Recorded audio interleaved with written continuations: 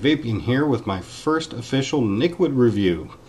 I'm going to start doing more of these as I dig up some time here and there because I definitely have a lot of Nicquids and I've got opinions and I don't mind sharing them and hopefully I can either lead you to some flavors that you'll like or steer you away from some that might be a bit of a risk for you. Today I am reviewing some Nicquids from DFW Vapor. I've ordered a lot of Nicquids from them in the past and really enjoyed them. I thought I would try three of the four of the newer flavors that they've come out with. And they all vape about the same. They're all, I believe, a 70-30 PG-VG mix, 18 milligrams.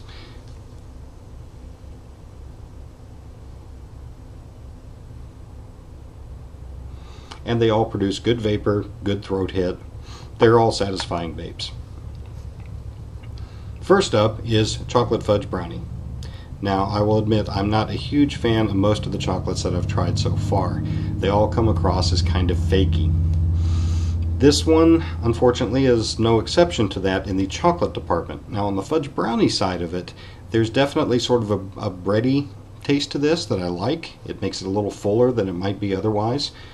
Uh, at the same time, it doesn't really quite satisfy that want for a chocolate. I kind of think of a chocolate, a good chocolate vape would be something like um, inhaling from a cup of hot cocoa. And I really haven't found anything that matches to that yet. So I'm not necessarily dinging DFW on not quite hitting that flavor. No one has done that for me yet.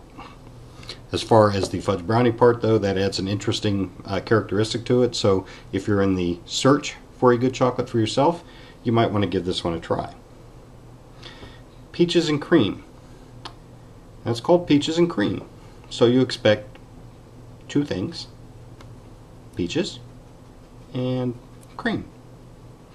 There's something more to this. It really kind of threw me off. It was a very bright, sort of spicy taste to it. I thought maybe it was just me. I really was not sure what was going on. And I started looking up some recipes and discovered I think, what I'm tasting in this. It's cinnamon and clove. It's like a spiced peach cobbler, sort of, without the cobbler component in the taste. A creamy one instead. So if they called this spiced peaches and cream, this would be dead on. They called it peaches and cream. So that spicy component really, really throws it off. It's a good vape.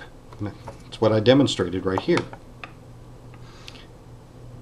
I like it, but I have to ding it some for not being the flavor that it advertises itself as. Cinnabun.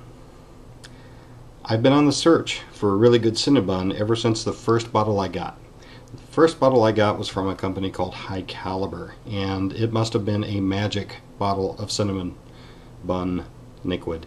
It had the cinnamon, it had the cream cheese frosting, I could taste the bun part of it, it was just an absolutely wonderful experience. It was really one of the things that, that hooked me on vaping and got me off of uh, smoking. I have not been able to match that yet. I've gotten several bottles of the same brand. None of them have matched the flavor of that first bottle. That was Rose, by Rose, by the way. Maybe I'll show her to you later. I haven't been able to find anything to match that original cinnamon bun. A good cinnamon bun to me is like a sultry woman that will come up and kiss you full on the lips and whisper hot, breathy, indecent things in your ear. This one from DFW Vapor is like most of the other ones I've tried. It's kind of like your sort of hot second or third cousin that you might have noticed about the time that you realized the girls were different. Uh, it's it's close. It's close. This cinnamon bun has a little bit of a citrusy note to it. And I'm not quite sure where that comes from. That's the thing, the only thing I can really ding it for. It's not as strong a cinnamon flavor as I would like, but I can kind of deal with that. Uh, it's got just a hint of the frosting kind of flavor to it, but it's that bright citrusy note that I really can't identify that in my mind puts this down around maybe fourth or fifth down from my magic bottle of cinnamon bun Nicquid that I had earlier. Werther's Original. Now it takes brass to come out and call your Nicquid Werther's Original. A Werther's Original is like God's candy. It's the best. It's creamy, it's caramely, it's butterscotchy, it's got a, a nutty note to it, sort of like a light praline. It fills the mouth. It's just extremely tasty. You're going to call your Nicquid Werther's Originals. You better have it spot on. I'm sorry, guys. Not quite.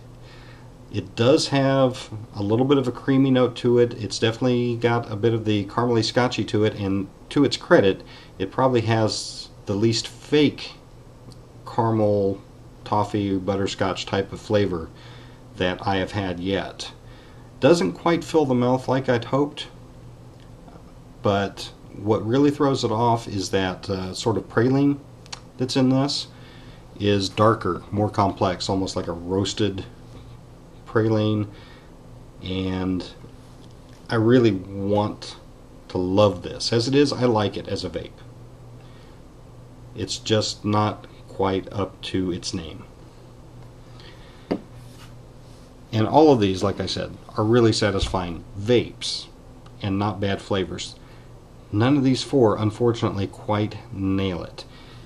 The closest one would be this peaches and cream if only they had called it spiced peaches and cream.